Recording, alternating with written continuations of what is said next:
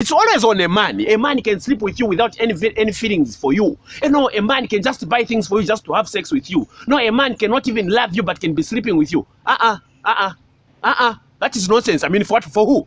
Eh? You can't be a nonsense person and want to be spreading such negativity and such uh, uh, animosity around. Who told you that women can't do it as well? Eh? Who told you that nonsense? Eh? As I am talking right now, there's a lady out there who is even squeezing in bed sheets right now, shouting, Oh, John, I love you. Oh, John, I love you. Meanwhile, at the back of her head, she's just thinking of her rentals, her makeup, iPhone 12, and all that nonsense. I'm telling you. You can't be a person that is just stereotyping and you think men are the only people that are sexy maniacs or sexy, sexy fanatics or sex addicted, addicted people. No, that is a lie. Eh? Let's start telling this society that it's equal to the task. Whatever a man is doing, even a lady can do, even worse. I'm telling you, I mean, for what, for, for who? Eh? Short commercial break. Let us register with 1xBet and make sure we use the promo code African Joker to qualify for that unlimited bonus just for you. All you have to do is just make sure you click on the link and make sure you register today.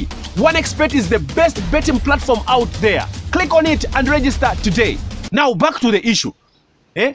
I'm telling you, there are ladies out there who are having enormous sex out there. Eh? Just for favors, not for feelings, no, not for love. Eh? Stop thinking men are the only people that can do that. I'm telling you. Just because ladies are not showing it or is we are not catching them, does not mean they are not doing it. I'm telling you.